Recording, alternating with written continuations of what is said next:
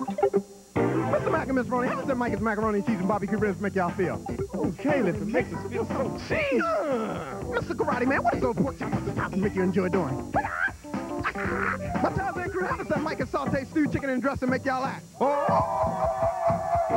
The almighty Mickey Dancer, show me the aftermath of eating one of those fresh Micah's lake trout fish for $4.95. Uh, break it down. Break it down. Visit Micah's Soul Food at 5401 Reisterstown Road. Oh, I got a weight problem. I can't wait to get to Micah's.